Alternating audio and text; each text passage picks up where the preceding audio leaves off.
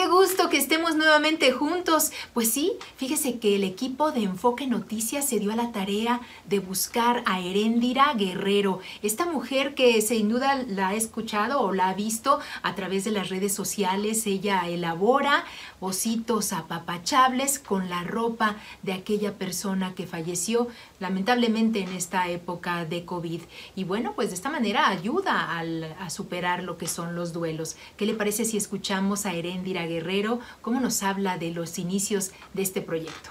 Estos ositos apapachables eh, pues no, es algo que yo haya descubierto, como les he comentado, es, es una tendencia eh, americana, la idea, eh, pero pues no faltó que en un momento dado alguien me solicitara uno y los empezamos a elaborar y fue del gusto de las personas y pues aquí estamos. Tengo seis años trabajando en esto, yo me dedicaba a, mi fuerte viene a ser la muñeca típica mexicana, la, lo que soy artesana. Esta mujer en época de pandemia no se aminoró, claro, significó para ella un reto y mire, aquí nos habla del miedo.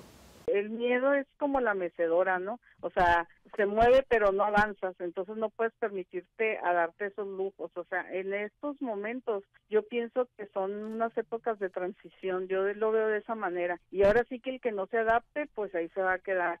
Entonces, en la vida eh, yo pienso, creo firmemente que siempre van a haber cambios y siempre tenemos que estar listos de una forma para, para enfrentarlos con los instrumentos que tengamos para salir adelante.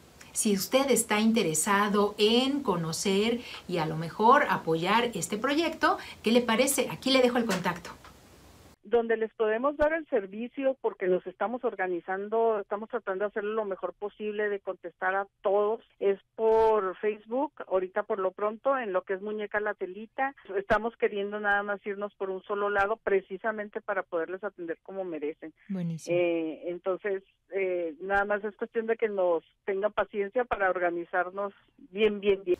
En Enfoque Noticias seguiremos informando.